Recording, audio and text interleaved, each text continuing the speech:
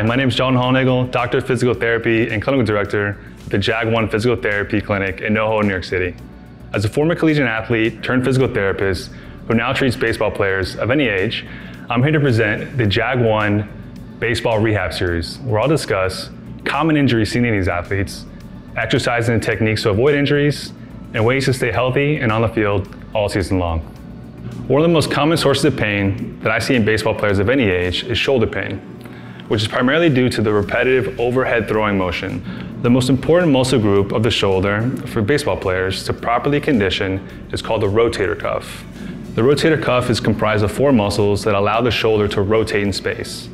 For overhead athletes like baseball players, these muscles come under quite a bit of tension during the throwing motion. Therefore, it is vitally important to keep these muscles well conditioned throughout the season to stay on the field. So for this shoulder exercise, we're gonna be working on one of those rotator cuff muscles. You're gonna need a dumbbell and a towel lying on your side. My right arm is gonna be the working arm here. Holding that towel in between your elbow, position the dumbbell down. This is the starting position. Squeezing in on that towel with your elbow, lifting the dumbbell up so you, that your forearm is nice and straight when it comes up and back down. Again, this exercise is called side lying external rotation. And you want to perform 10 repetitions.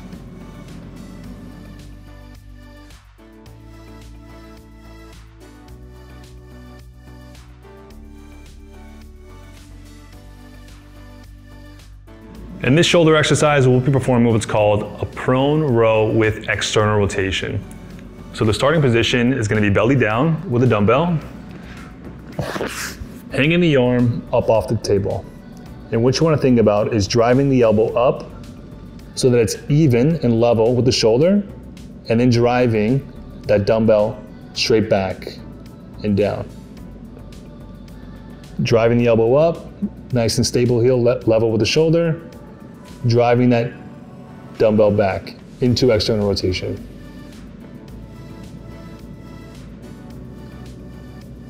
And pick a weight you can perform at least 10 repetitions with.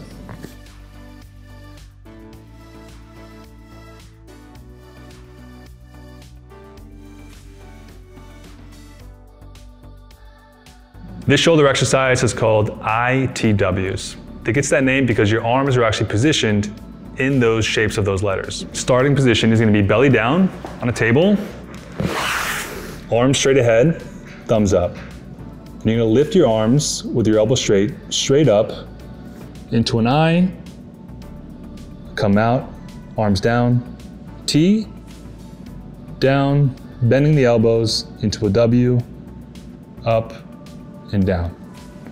And repeat. I, T W and performing at least 10 reps here.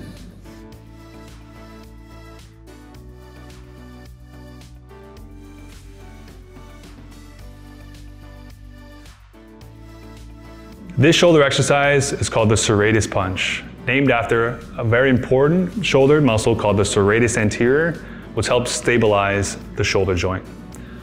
Starting position, you're gonna need two dumbbells, back down, arms and elbows straight ahead, holding this position, and from this position, you wanna think about punching straight up, keeping your elbows straight. Punch up, back down. Punch up, and back down. And what you should be feeling is your shoulder blades actually moving further apart from each other.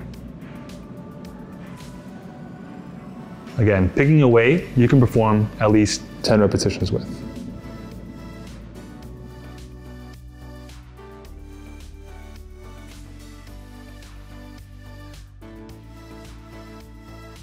In this shoulder exercise, we're gonna be performing what's called a prone row. So you're gonna need a dumbbell for this exercise. The starting position is belly down on a table, hanging the working arm off and down the table. And what you want to do in this position is think about driving that elbow back.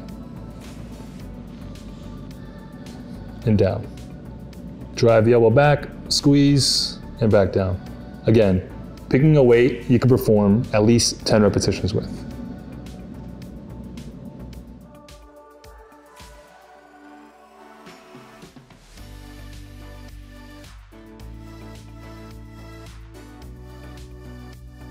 So for this exercise, it's called wall angels. We're targeting the serratus anterior muscle and our rotator cuff muscles with this one. So you're gonna getting the TheraBand wrapped in a circle. TheraBand goes around the wrist. You're pulling out onto the wall with the TheraBand, and you want to think about moving your shoulder blades out and apart from each other. Holding that position with tension in the band, slide the hands up the wall and back down. Again, maintaining that position with the shoulder blades and the tension in the TheraBand the entire time. For this exercise, perform two sets of 15 repetitions.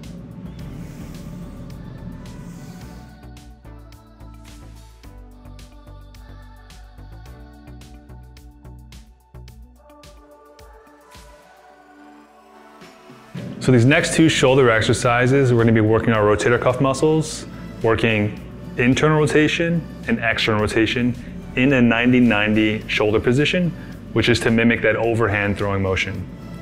So first, let's start off with internal rotation on a cable cross.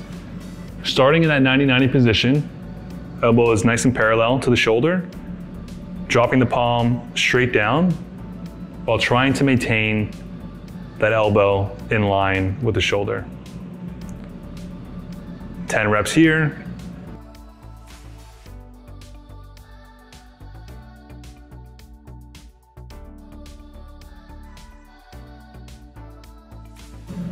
We can drop the cable cross a little bit for external rotation.